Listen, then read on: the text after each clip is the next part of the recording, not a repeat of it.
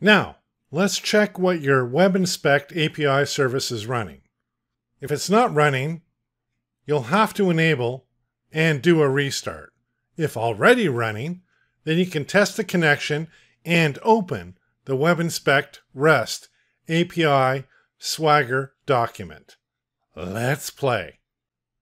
From the Services window, scroll down to locate the WebInspect API service. Right-click on the WebInspect API service to check the properties. If the status shows that it is running, that means it's enabled. Select Properties. Notice the start type is set at Delayed Start. Go ahead and click on Log On. The log on is set up correctly. No need to make any changes. Select Cancel. You can make configuration changes as needed to the WebInspect API and test those out. Best practice when you first initiate the WebInspect API service, be sure to restart the WebInspect API service here first.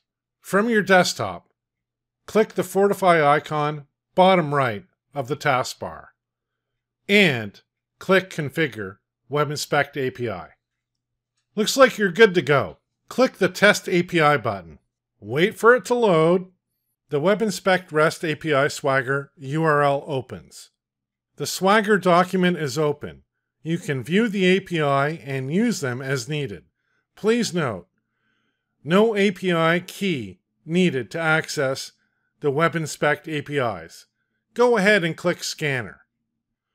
You are now ready to utilize the WebInspect REST API. Good stuff.